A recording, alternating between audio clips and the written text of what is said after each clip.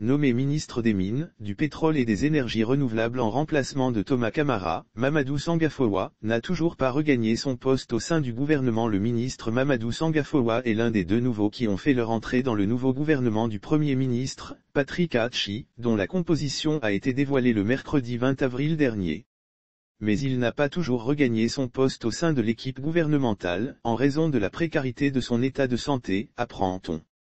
Mamadou Sangafowa n'a toujours pas regagné son poste. Le ministre Mamadou Sangafowa, selon des sources concordantes, a manqué à l'appel au tout premier Conseil des ministres, organisé le 21 avril 2022, sous la présidence du chef de l'État ivoirien, Alassane Ouattara.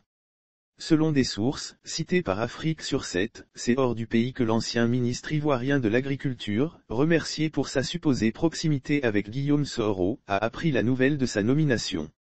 Son absence lors du Conseil des ministres, révèle notre source, a suscité alors beaucoup de commentaires, poussant le ministre de Communication et de l'économie numérique, porte-parole du gouvernement, à réagir. Pour l'heure, l'intérim, faut-il le souligner, l'intérim du ministre Mamadou Sangafowa est assuré par le ministre Bouaké Fofana en charge de l'hydraulique, de l'assainissement et de la salubrité, il n'y a aucune raison particulière. Le ministre Mamadou Sangafowa Koulibaly est hors du pays.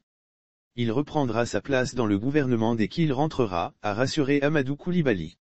Mais, selon des sources bien introduites, le nouveau ministre des Mines, du Pétrole et de l'Énergie, ne pourra pas regagner la Côte d'Ivoire avant de longues semaines.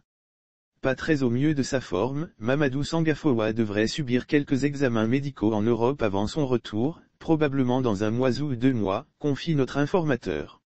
Lire aussi nouveau gouvernement, de nouveaux entrants, les secrétaires d'État et ministres délégués, remerciés pour l'heure, l'intérim, faut-il le souligner, l'intérim du ministre Mamadou Sangafowa est assuré par le ministre Bouaké Fofana en charge de l'hydraulique, de l'assainissement et de la salubrité. La passation de charge entre le ministre sortant des mines, du pétrole et de l'énergie, Thomas Kamara et l'intérimaire du ministre entrant, Mamadou Sangafowa Koulibaly, a eu lieu ce lundi au cabinet du dit ministère. Dès les premières de sa nomination, faut-il le souligner, Mamadou Sangafowa a traduit toute sa reconnaissance et son infinie gratitude au président de la République, Alassane Ouattara, promettant également de donner le meilleur de lui-même pour continuer de bénéficier de cette confiance.